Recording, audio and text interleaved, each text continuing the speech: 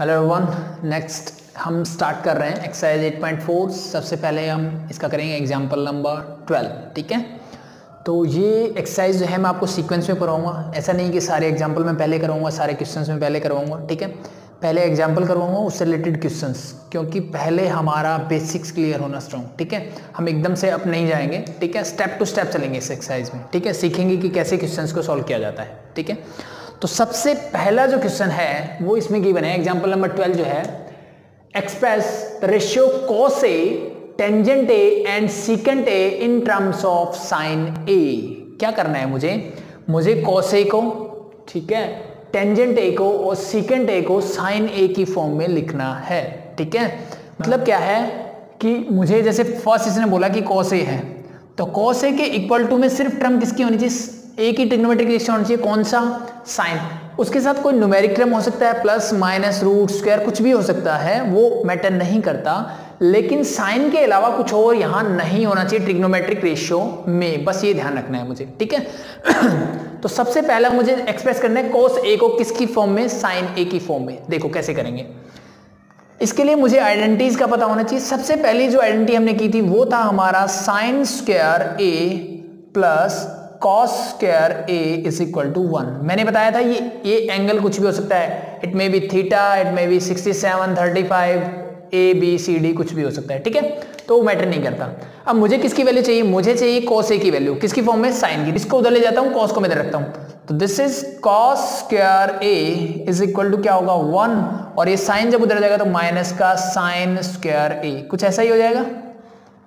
मुझे सिर्फ़ चाहिए कॉस की, मुझे कॉस स्क्वायर की नहीं चाहिए। तो स्क्वायर जब उधर जाता है तो क्या होता है? Root this is cos A किसके इक्वल हो जाएगा?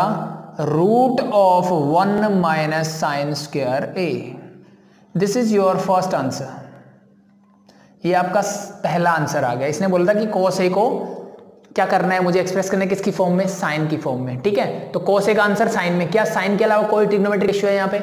नहीं है। इसका मतलब मेरा आंसर सही है। उसके बाद बोला, इसने सीकेंट ए को सॉरी टेंजेंट ए है मेरे पास। सेकंड है मेरा टेंजेंट ए किसकी फॉर्म में चाहिए? मुझे चाहिए सिर्फ़ साइन की फॉर्म में। तो ठीक है। तो मैंने आपको एक फॉर्मूला बताया था कि टेंजेंट ए किसके इक्वल होता है? ये होता है sine A divide by cos A के।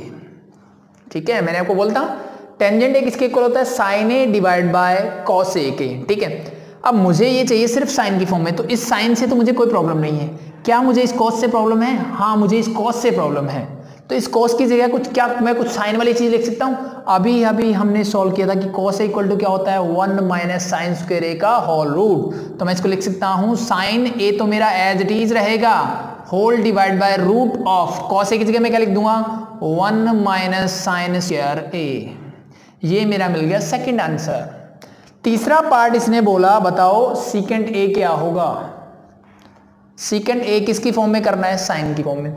अब मुझे एक चीज़ पता है, मैंने आपको करवाया था कि सीकेंड थीटा जो है वो क्या होता है? वन बाय कॉस थीटा यानी कॉस थीटा का उल्टा होता है। तो क्या मैं सीकेंड ए को one divide by cos A लिख सकता हूँ? बिल्कुल लिख सकते हैं। तो वन तो एज इट इज़ इस कॉस ए की वैल्यू हमने निकालित किया था root of one minus sine square A that's your answer third answer तीनों आंसर मुझे मिल गए? किसकी फॉर्म में? साइन की फॉर्म में। देखो, यहाँ पे भी सिर्फ़ साइन है, यहाँ पे भी सिर्फ़ साइन है, यहाँ पे भी सिर्फ़ साइन है। ठीक है? तो ये जब क्वेश्चन आता है, आपका ये थ्री या फोर मार्क्स में आता है। ये चीज़ ध्यान रखना, अगर आएगा तो। ठीक है?